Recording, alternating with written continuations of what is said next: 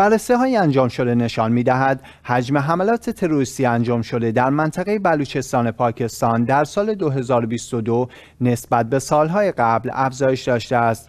مرکز تحقیقات و مطالعات امنیتی پاکستان با انتشار گزارشی ضمن اعلام این خبر افزود بر اساس آمار رسمی موجود در سال 2022 میلادی 376 حمله تروریستی در بلوچستان و خیبر پختونخوا پاکستان رخ داده که بر اثر آنها هزاران نفر جان باخته و زخمی شدند.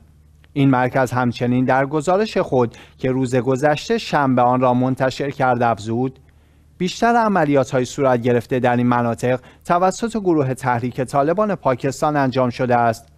بعد از این گروه ارتش آزادی بخش بلوچستان رتبه دوم انجام عملیات های تروریستی را در این مناطق بر عهده دارد.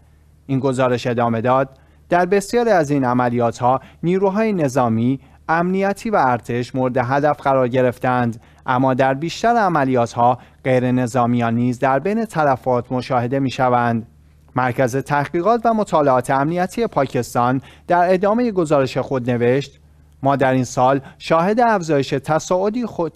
خشونت در این مناطق بوده ایم.